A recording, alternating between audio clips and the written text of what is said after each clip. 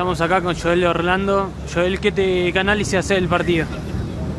No, como, como dije allá, la verdad que nos merecíamos el triunfo, fue un partido durísimo, eh, pero estábamos convencidos de que los tres puntos iban a quedar en casa. Encima te tocó hacer el gol, te fuiste ovacionado por toda la gente. ¿Qué, qué mensaje te des para el hincha que hoy bancó a los locos? No, la verdad que me saca a los hinchas que gracias por siempre estar. Eh, la verdad que hoy lo sentimos, lo sentimos como todos los partidos. Eh, y muy contento de hacer mi gol en el clásico. La verdad, gracias a Dios que, se me pudo dar. Y la última, eh, vienen de cuatro partidos sin perder. ¿Cómo sigue Almagro para lo que viene?